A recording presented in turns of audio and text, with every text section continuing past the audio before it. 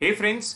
welcome back to Nauka digital institute अभी अभी हमारी mother institute the institute of chartered accountants of India ने हमारे सबके हित के लिए, हमारी सबकी भलाई के लिए बहुत सोचकर, समझकर निर्णय लिया है कि हमारी आईसीईआई की नवंबर 2020 की एग्ज़ाम कैंसिल नहीं किया गया बट उसे रीस्केड्यूल किया गया है। So so friends are exams are reschedule and पहले जो फ़र्स्ट नवंबर से 18 नवंबर की जो एग्ज़ाम्स थी, वो अब ट्वेंटी फ़र्स्ट नवंबर से फोर्टीन नवंबर को रीस्केड्यूल की गई है। फ्रेंड्स फाउंडेशन की नई तारीख है eighth tenth twelfth and fourteen December friends fourteen of December एक बहुत अच्छा समय आप सबको पूरी तरीके से तैयारी करने के लिए अब दिया गया है। फिर फ्रेंड्स अगर हम बात करें IPCC old syllabus and intermediate new syllabus की तो उसका जो फ़र्स्ट ग्रुप है, उसकी तारीख सेम है। Twenty second twenty fourth twenty six and twenty of November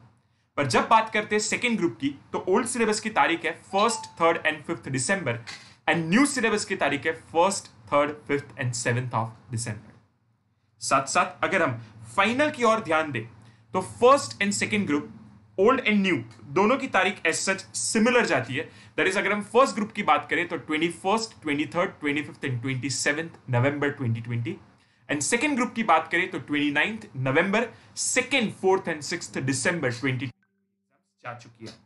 plus बाकी उन्होंने नोटिफिकेशन के अंदर टाइमिंग्स भी दिए गए, जो ऑलमोस्ट सिमिलर है। सारी एग्ज़ाम्स तीन घंटे की है, सिवाय के फाउंडेशन का जो पेपर है थ्री एंड फोर वो दो घंटे का। एंड इलेक्टिव पेपर जो है, वो चार घंटे का है। बाकी सारे times one and the same रहते हैं।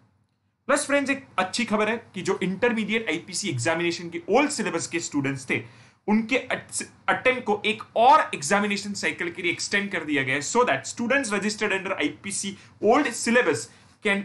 write their examination up to May 2021 examination हम आशा रखते हैं कि अगर आप एनडीए के साथ जुड़े हो तो आपको ऐसा करने की ज़रूरत ना पड़े, आप इसी एग्ज़ाम के अंदर पास आउट हो जाओ।